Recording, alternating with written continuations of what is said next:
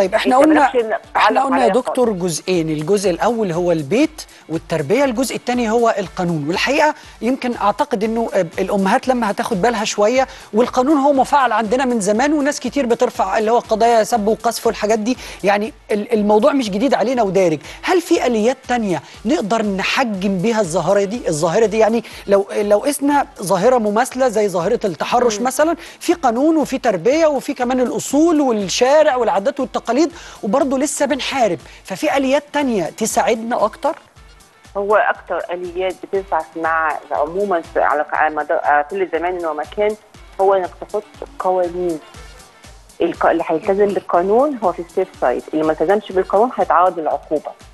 إيه الفترة اللي جت فيها الناس بتتكلم في السياسة هتلاقي في حاجات في السجن كله قفل بقه صح؟ آه. ليه؟ ان كان في ناس بتتكلم وهي مش فاهمة حاجة مم.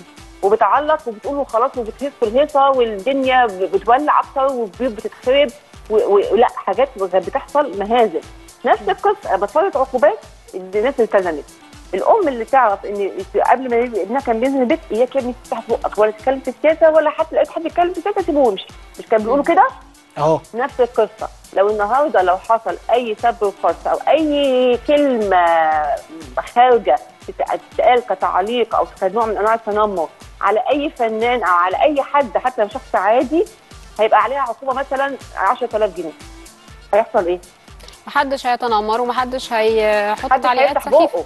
آه هو كل ما يكتب كومنت هياخد باله كويس قوي. هيفكر. أي نوع من أنواع التجريح ولا لأ. صح. آه ليه؟ لأن هو هيتعور. لكن هو دلوقتي ماشي مبدا إيه؟ أنا أعور وما بتعورش. فبالتالي ماشي بقى إيه؟ سايق في خلق الله. إيه قاعد فاضي بقى فبيتسلى. لكن لما يلاقي نفسه إن هو هيتعور سواء بقى بحج بحبس أو سواء بغرامه مالية أو بأي ما يكون.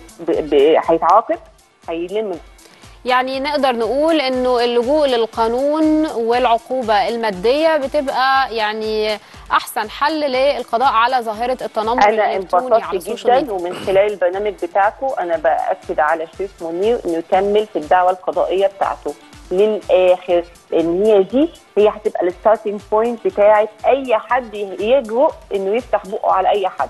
وإحنا طبعا بنحييه برضو على الخطوة دي آه، وبنشجعه. عليها يعني. طبعاً. ونتمنى إن شاء الله إن الظاهرة دي تختفي يعني من المجتمع بتاعنا. إن شاء شكرا الله ليك يا وأنا- دكتور. هايدي جداً القاصد. آه. بنشكرك شكرا جزيلا. نورتينا بمعلوماتك وبحضورك معانا. إن شاء الله تبقى موجودة معانا كمان في انبوكس إن شاء الله. آه يعني هي شجعت آه شريف منير على القرار اللي اتخذه أو الخطوة اللي اتخذها. زي فنانين كتير درة كمان عملت آه. كده شجعته. ليلى علوي كريم محمود عبد العزيز ونسرين أمين وهنا الزاهد وداليا البحيري وكند علوش وكارمن سليمان وغيرهم كتير كمان من الفنانين سواء أبناء الوسط الفني أو حتى من خارج الوسط الفني.